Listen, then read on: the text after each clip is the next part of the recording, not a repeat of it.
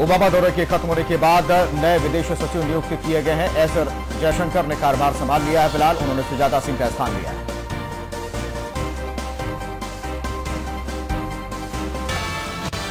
पद संभालने के बाद एस जयशंकर ने कहा कि उन्हें बहुत अहम ज़िम्मेदारी मिली है और इससे वे सम्मानित महसूस कर रहे हैं। उन्होंने कहा कि सरकार की प्राथमिकताएँ ही उनकी प्राथमिकता है। जानकारी के मुताबिक विदेश सचिव के तौर पर सुजाता सिंह के कार्यकाल को एक साल का विस्तार मिला था, लेकिन इस बीच उनके इस्तीफे की खबर ने सबको चौंका दिया है। सुजाता ने इस्तीफा क्यों दिया? इस बाबत कोई स्पष्ट कारणों नहीं पता चल पाया है। सुजाता सिंह को विदेश सचिव के पद से हटाए जाने पर सवाल उठाते हुए कांग्रेस के मनीष तिवारी ने कहा, क्या यह देवयानी खोबरागढ़े मामले में सुजाता सिंह के स्टैंड का बदला है? नए विदेश सचिव एस जयशंकर ने अपना पदभार संभालने के बाद विदेश मंत्री सुषमा स्वराज से मुलाकात की। एस जयशंकर के विदेश सचिव बनने पर उमर अब्दुल्ला ने ट्विटर पर खुशी जताई, बताया केंद्र सरकार का बेहतरीन निर्णय। शहीद कर्नल एम एन राय का पार्टी शरीर पंचतत्व में विलीन हो गया, दिल्ली कैंट के बरार स्क्वायर में उन्हें मुखाग्नि दी इससे पहले दिल्ली कैंट में कर्नल एम एन राय को श्रद्धांजलि दी गई। कर्नल को 26 जनवरी को वीरता पुरस्कार मिला था और 27 जनवरी को जम्मू कश्मीर के त्राल में आतंकवादियों से मुठभेड़ में शहीद हुए थे। आर्मी चीफ दलबीर सिंह सुहाग ने शहीद कर्नल एम एन राय को पुष्प अर्पित कर श्रद्धांजलि दी। संविधान प्रस्तावना विवाद पर बीजेपी ने कांग्रेस से पूछा सवाल, क्या नेहरू धर्मनिरपेक्ष नहीं थे? 1950 में संविधान निर्माण के दौरान नेहरू सभा में मौजूद थे और उस वक्त भी सेकुलर शब्द प्रस्तावना में नहीं था। सेकुलर और समाजवाद शब्द बाद में जोड़े गए। गणतंत्र दिवस के विज्ञापन विवाद पर केंद्रीय मंत्री रविशंकर प्रसाद ने कहा कि संविधान की प्रस्तावना से सेकुलर शब्द हटाने की शिवसेना की मांग में कुछ भी गलत नहीं। दो वोटर कार्ड रखने के मामले में बीजेपी की सीएम उम्मीदवार किरण बेदी को चुनाव आयोग ने क्लीन चिट दे दी। चुनाव आयोग ने कहा कि किरण बेदी ने पहले ही अर्जी दे दी थी। किरण बेदी केवल उदय पार्क से ही डालेंगी वोट। बुधवार को आपके खिलाफ फर्जी स्टिंग जारी होने की आशंका जताने के बाद अरविंद केजरीवाल ने अब पार्टी के वॉलंटियर्स को खरीदे जाने की कोशिश का आरोप लगाया है। दिल्ली चुनाव पर आप नेता कुमार विश्वास ने ट्वीट कर बीजेपी पर निशाना साधते हुए लिखा कि जय वीरू के खात्मे के लिए बीजेपी ने मैदान में सारे कालिया उतारे। हैं मोदी सरकार के खिलाफ अन्ना हजारे के आरोपों पर बीजेपी ने कहा, मोदी सरकार ने कालाधन वापस लाने के लिए एसआईटी बनाई है। अन्ना हजारे ने कहा था कि काले धन पर मोदी ने कहा कि जब अगर सारा कालाधन वापस लाया गया तो हर भारतीय को पंद्रह लाख रुपए मिलेंगे, लेकिन लोगों को पंद्रह रुपए भी नहीं मिलेंगे बंगाल के बीरभूम में विश्व हिंदू परिषद की ओर से आयोजित एक सम्मेलन में बीएचपी ने 50 हिंदूवासियों का हिंदू धर्म, आदिवासियों का हिंदू धर्म में धर्मांतरण कराया। धर्मांतरण पर बड़े विवाद पर बीजेपी नेता सिद्धार्थनाथ सिंह ने कहा कि अगर टीएमसी को ऐसा लगता है कि जबरन धर्मांतरण करवाया जा रहा है तो उन्हें कदम उठाना चाहिए। ओलंपिक में गोल्ड मेडल जीतने वाले खिलाड़ियों को 75 लाख रुपए देगी केंद्र सरकार। रजत पदक जीतने पर 50 लाख और कांस्य पदक पर 30 लाख का इनाम दिया जाएगा। रीड इंडिया अभियान चलाएगी मोदी सरकार। पीएम ने पेश किया आइडिया। 14 फरवरी को शुरू हो सकती योजना। आदर्श ग्राम योजना से जुड़ सकती है ये। लोगों में पढ़ने की आदत को बढ़ाना है लक्ष्य। लालू नीतीश की दोस्ती टूटने के संकेत मिल चुके हैं। लालू ने कहा कि मैं अकेला निकल रहा हूँ, जिसे आना है वो आए। दिल्ली के किदवाई नगर में निर्माणाधीन मकान ढहने से एक शख्स की मौत हो गई और तीन लोग गंभीर रूप से घायल हो गए। इम्फाल में बुधवार रात असम राइफल्स और कुकी उग्रवादियों के बीच हुई मुठभेड़ में दो केएनएफ उग्रवादी मारे गए, तीन घायल हुए। जल्दी आप कहीं से भी एलपीजी सिलेंडर की बुकिंग कर सकते हैं या अपनी बुकिंग का स्टेटस चेक कर सकते हैं। तेल मंत्रालय की एक साल के अंदर देश के बड़े शहरों में माई एलपीजी के नाम से कियोस्क लगाने की योजना। आतंकी संगठन आईएसआईएस ने वीडियो जारी करके अमेरिकी राष्ट्रपति ओबामा को व्हाइट हाउस में घुसकर उनका सिर कलम करने की धमकी दी है। अमेरिका को मुस्लिम प्रांत में तब्दील करने की धमकी भी दी गई है। जापान से अपनी दोस्ती को आगे बढ़ाते हुए सामरिक साझेदारी तक ले जाना चाहते हैं पीएम मोदी और इसी कड़ी में पचास हज़ार करोड़ की लागत से बनने वाली सिक्स स्टेल्थ पनडुब्बियों के लिए भारत सरकार ने शिंजो आबे की सरकार से पूछा कि क्या वे इस प्रोजेक्ट में हिस्सा लेंगे?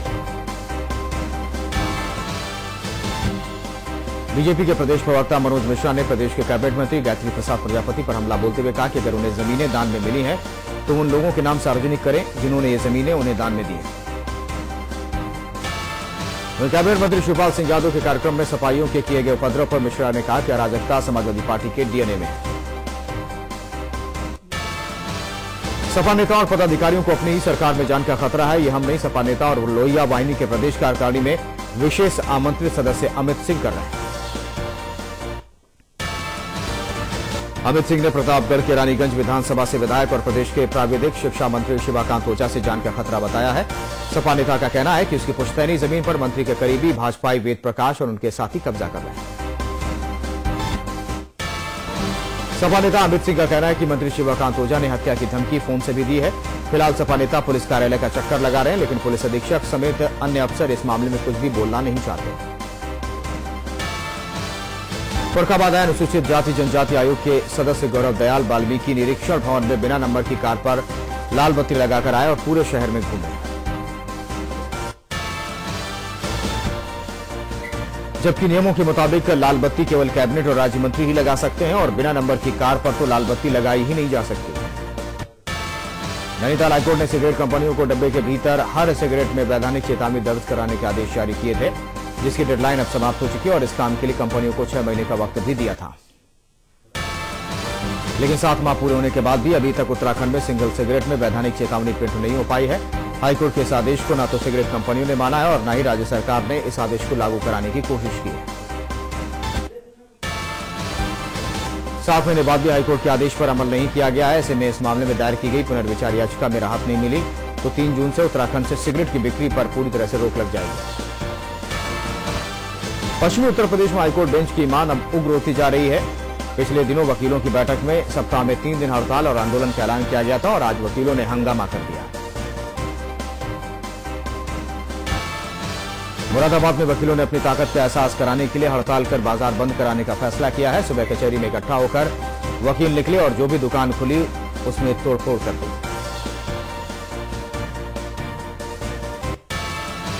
पुलिस की कमी से जूझ रहे पहाड़ी क्षेत्रों की जल्द मुसीबत दूर होने वाली है। यहाँ जल्द ही पुलिस की कमी दूर हो जाएगी, ये कहना आईजी गढ़वाल, संजय गुंजियाल का। संजय गुंजियाल ने कहा कि मैदानी इलाकों में लंबे वक्त से जमे पुलिस वालों को अब पहाड़ चढ़ना होगा और पहाड़ी इलाकों में लंबे वक्त से अपनी सेवाएँ दे रहे पुलिसकर्मियों को मैदान में तैनाती मिलेगी। जिला पंचायत रुद्रप्रयाग के विकास कार्यों की समीक्षा बैठक में सदस्यों ने विधायकों और जिलाधिकारी की गैर मौजूदगी पर खासी नाराज़गी जताई। उन्होंने आरोप लगाया कि सदन में रखे गए प्रस्तावों को तवज्जो नहीं दी जा रही और इसके लिए अधिकारियों की लापरवाही जिम्मेदार है। जिला पंचायत अध्यक्ष लक्ष्मी राणा की अध्यक्षता में जिला पंचायत की दूसरी समीक्षा बैठक हुई। संखिसा में दलाई लामा के कार्यक्रम को लेकर पिछले कई दिनों से तैयारी चल रही है। जिलाधिकारी ने बताया कि दलाई लामा 30 जनवरी को पौने दस बजे मोहम्मदाबाद हवाई पट्टी पर उतरेंगे। उनके प्लेन की सेफ़ लैंडिंग की पूरी व्यवस्था की गई। यहाँ से संकिसा पहुंचकर स्तूप पर पूजा करेंगे। इसके बाद इकतीस जनवरी को पूरे दिन धम्मोपदेश का कार्यक्रम है। वहीं एक फरवरी को दोपहर बाद कार्यक्रमों में भाग लेने के बाद वापस जाएँगे। रुद्रपुर स्थित सैनिक कल्याण पुनर्वास कार्यालय में आयोजित एक बैठक में पूर्व सैनिकों ने एक फरवरी को दिल्ली में जंतर मंतर कूच करने का फैसला किया। पूर्व सैनिकों का कहना है कि केंद्र सरकार ने बीते साल पूर्व सैनिकों को वन रैंक, वन पेंशन देने की घोषणा की थी, जो कि अभी तक पूरी नहीं हो पाई है, जिससे पूर्व सैनिक आहत हैं और अपने आप को ठगा महसूस कर रहे हैं। श्रीनगर जल विद्युत परियोजना पर एक बार फिर संकट के बादल मंडराने लगे हैं। श्रीनगर जल विद्युत परियोजना से प्रभावित लोगों ने कार्यदायी संस्था जीवीके के खिलाफ मोर्चा खोल दिया है। आपको बता दें कि श्रीनगर जल विद्युत परियोजना पहले से ही एक साल पीछे चल रही है। ऐसे में अब ग्रामीणों के आंदोलन के चलते परियोजना के विद्युत उत्पादन पर एक बार फिर तलवार लटकने लगी। शामली को स्मार्ट सिटी बनाए जाने को लेकर जिला प्रशासन ने सरकार को प्रस्ताव भेजा है। अगर सरकार ने जिला प्रशासन के प्रस्ताव को मंजूर कर लिया तो शामली के विकास को चार चाँद लग जाएँगे। आपको बता दें कि शामली को केंद्र सरकार ने हाल ही में एनसीआर में दर्ज किया गया है, जिससे प्रशासन के इस प्रस्ताव को काफ़ी बल मिला है। ऐसे में शामली के डीएम ने सरकार को, शामली को भी स्मार्ट सिटी की लिस्ट में शामिल करने का प्रस्ताव भेजा है। श्रीनगर में पुलिस की नाक के नीचे बाइकर्स खतरनाक स्टंट कर रहे हैं, लेकिन इन बाइकर्स पर रोक लगाने में पुलिस असफल साबित हो रही है। आलम यह है कि बाइकर्स भीड़ भाड़ वाले स्थानों पर भी खतरनाक स्टंट करने से बाज नहीं आते, जिससे वो खुद तो चोटिल होते ही हैं, साथ ही राहगीरों को भी उनसे खतरा बना रहता है। गोरखपुर के बेरीपाड़ थाना क्षेत्र के बागबाड़ा स्थित फोर लेन पर कार में एक युवक की लाश मिलने से सनसनी फैल गई। ये कार फोर लेन पर खड़ी थी और इसके शीशे से गोली आर पार की थी स्थानीय लोग जब सुबह सड़क के किनारे टहलने निकले तो कार में लाश देखकर इसकी सूचना पुलिस को दी गई। मौके पर पहुँची पुलिस ने मामले की तफ्तीश शुरू कर दी। कानपुर के गोविंदपुरी स्टेशन में रेलवे लाइन के किनारे झाड़ियों में 26 साल की युवती का शव मिलने से हड़कप बच गया है। सूचना पर पहुँची जीआरपी पुलिस और फॉरेंसिक टीम ने जाँच पड़ताल कर शव को पोस्टमार्टम के लिए भेजा। हालाँकि लड़की की शिनाख्त नहीं हो पाई है, युवती के दाएँ हाथ पर एक मोबाइल नंबर लिखा था। जो नौबस्ता के रहने वाले चंद्रशेखर सिंह का है, लेकिन उन्होंने इस लड़की की जानकारी से इनकार कर दिया। रुड़की के चौरासी गाँव में पाँच साल की मासूम बच्ची की हत्या को एक साल गुजर गया, लेकिन पुलिस घटना का खुलासा करने में पूरी तरह नाकाम। खेराजट गाँव के रहने वाले मोहित कुमार की हत्या का पुलिस खुलासा करने के लिए उसके सामने एक चुनौती है। आलम यह कि पीड़ित परिवार आए दिन पुलिस अधिकारियों के चक्कर काटकर थक चुके हैं।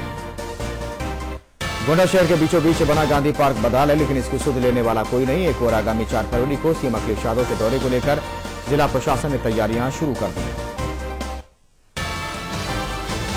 ज़िले को तिहत्तर विकास योजनाओं की सौगात भी मिलने वाली है, मगर ऐतिहासिक गांधी पार्क अपनी दुर्दशा पर रोने को मजबूर है। एक अरसे से ज़िले की शान गांधी पार्क के हालात बद से बदतर हो चुके हैं।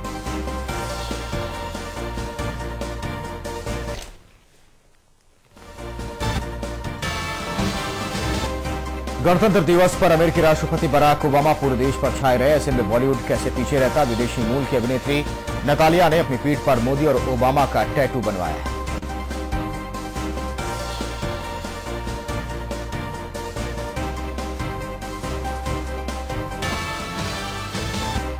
उन्होंने अपनी ये पिक्स ट्विटर अकाउंट पर शेयर किए। नतालिया ने अपने शरीर पर ओबामा और मोदी का टैटू बनवाकर खुशी ज़ाहिर की है। नतालिया फ़िल्म डिपार्टमेंट में दिख चुकी है।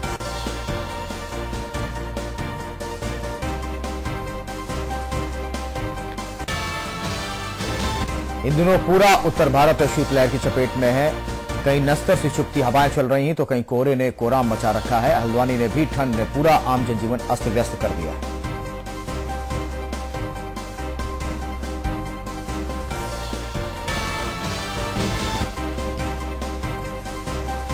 हल्द्वानी रुद्रपुर, लालकुआ, काठगोदाम और किच्छा के कई इलाकों में घना कोहरा छाया हुआ है। वहीं दिल्ली, रामपुर रोड, बरेली रोड पर भी घने कोहरे से बसों के संचालन में काफ़ी परेशानी हो रही है।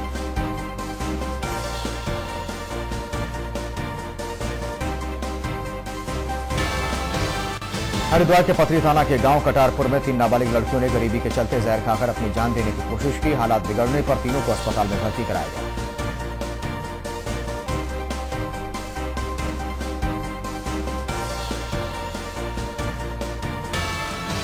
गरीबी के चलते खुदकुशी करने वाली तीन नाबालिग लड़कियों में से एक लड़की उपचार के दौरान उसकी मौत हो गई। दो लड़कियाँ अभी भी ज़िंदगी और मौत की जंग लड़ रही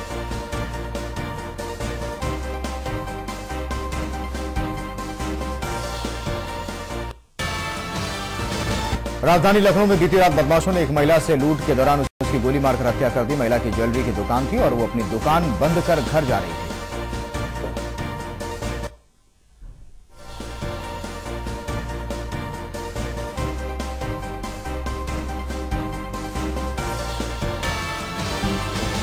लखनऊ में महिला के साथ लूट हत्या की वारदात के दौरान महिला ने बदमाशों के साथ हाथापाई भी की।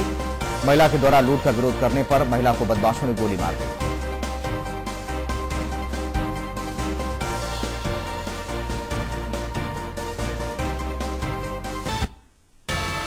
मेरठ के चौधरी चरण सिंह विश्वविद्यालय के कुलपति ने अपने कुछ साथियों के साथ मिलकर रजिस्ट्रार के दफ्तर की तालाबंदी करते हुए उसका सारा सामान बाहर फेंक दिया।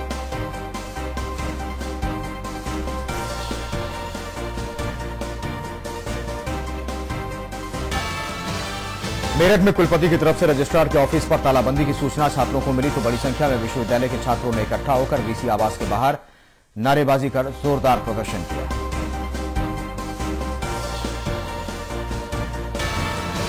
महोबा ज़िले में दो घंटे के अंतराल में हुई गोलियों की तड़तड़ाहट से पूरा जिला दहल उठा। पहली वारदात शहर कोतवाली के धमौरा ग्राम की, जहाँ अभी पुलिस पहुँची थी कि दूसरी वारदात शहर कोतवाली के नारूपुरा मोहाल में हो गई।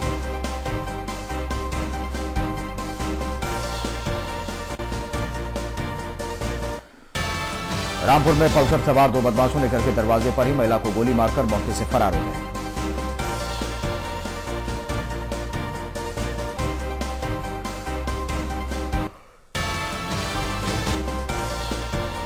रामपुर में बदमाशों की गोली से घायल हुई महिला ने उपचार के लिए अस्पताल ले जाते वक्त अपना दम तोड़ दिया। वहीं पुलिस ने मामला दर्ज कर आरोपी की तलाश शुरू कर दी।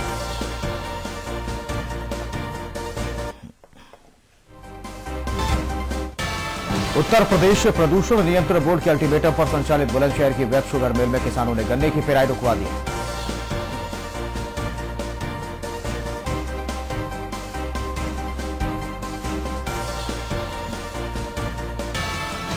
बुलंदशहर में गन्ना किसान अपने गन्ने की तुलाई न होने से नाराज़ थे। दरअसल अरबों की ज़मीन पर बने इस शुगर मिल में वेब ग्रुप अब मिल चलाने के बजाय कॉलोनियाँ बसाना चाहता है।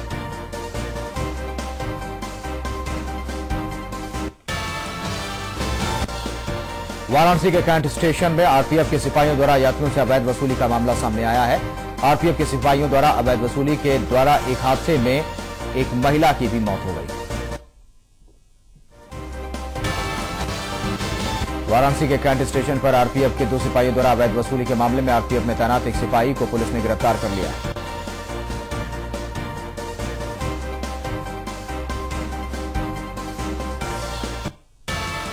मिर्जापुर से गुजरने वाले नेशनल हाईवे सात की हालत बेहद खराब है। यहाँ पर सड़क है, गड्ढे, इसका पता नहीं चलता है, लेकिन राजमार्ग पर आवागमन के चलते धूल का गुबार ही अक्सर उड़ता दिखाई देता है।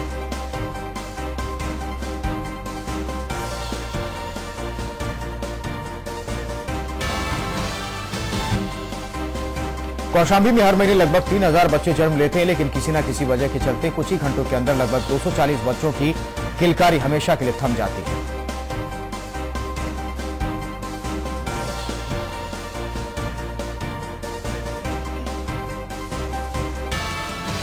राष्ट्रीय स्वास्थ्य मिशन की सख्ती के बाद भी कौशाम्बी ज़िले में शिशु मृत्यु दर की भयावह हालत पर रोक नहीं लग पा रही है। प्रदेश में 25 जिलों में शिशु मृत्यु दर की हालत बेहद खराब है, जिससे कौशाम्बी जिला सबसे निचले पायदान पर। है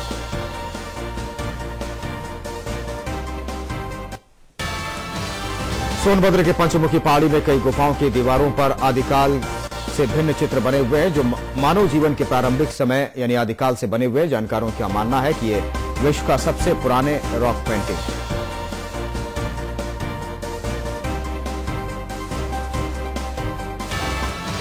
सोनभद्र ज़िले के लगभग 250 स्थानों पर ये भिन्न चित्र बने हुए हैं। इनका कहना है कि तीन स्तर में बने हुए हैं, जिनमें पहला प्रागैतिहासिक काल का और यहाँ आने वाले पर्यटक इन चित्रों को देखकर काफ़ी रोमांचित होते हैं।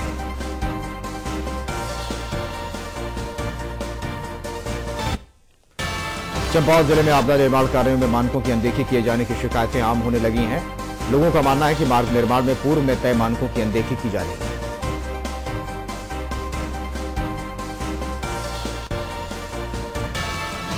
पौड़ी में आईजी संजय गुंजाल ने कहा कि पहाड़ी क्षेत्रों में जल्दी पुलिस की कमी दूर हो जाएगी।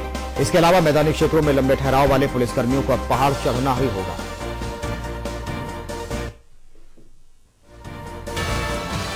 वाराणसी में भारतीय आवाम पार्टी के दर्जनों मुस्लिम महिला कार्यकर्ता दिल्ली में किरण बेदी के समर्थन में प्रचार करेंगी। विधानसभा चुनाव तक किरण बेदी के समर्थन में लोगों से वोट मांगेंगे और मोदी सरकार की उपलब्धियों के बारे में दिल्ली की जनता को बताएँगे। यूरोपीय मुद्रा के कमज़ोर होने का असर अब भदोई का कालीन उद्योग पर पड़ता दिखाई दे रहा है। दरअसल अमेरिकी और यूपी बा, यूरोपीय बाजारों में कालीन सबसे अधिक निर्यात किया जाता है। महाराजगंज जिला मुख्यालय पर एक समुदाय का आंदोलन दूसरे दिन भी जारी रहा। अनुसूचित जनजाति का दर्जा दिए जाने वाले सहित शिक्षा स्वास्थ्य और अन्य बुनियादी जरूरतों को पूरा करने की मांग ये समुदाय कर रहा है।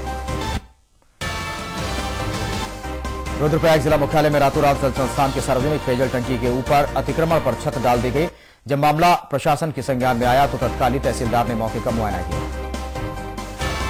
वाराणसी में लोगों ने ऑस्ट्रेलियाई पक्षी शुतुरमुर्ग की एक प्रजाति इमू का पालन शुरू कर दिया है, जिसके अंडे की सप्लाई विदेशों में की जा रही है।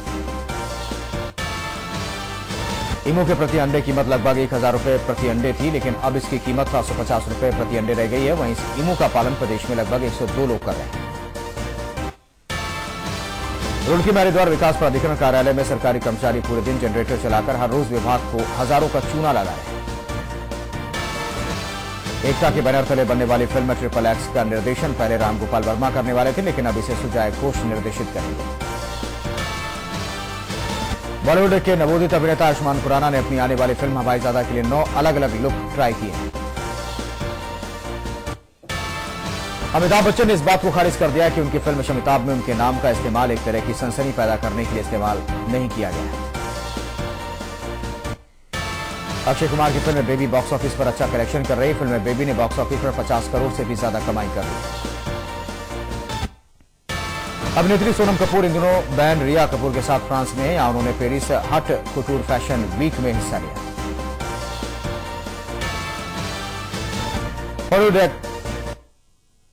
एक्टर टॉम क्रूज की फ़िल्म मिशन इम्पॉसिबल 5 अमेरिका में 25 दिसंबर की बजाय अब इकतीस जुलाई को ही रिलीज़ होगी। अभिनेत्री तनिषा मुखर्जी ने अपनी बहन काजोल माँ तनुजा और परिवार के अन्य सदस्यों के साथ मिलकर मुंबई में अपने घर में पूजा का आयोजन किया।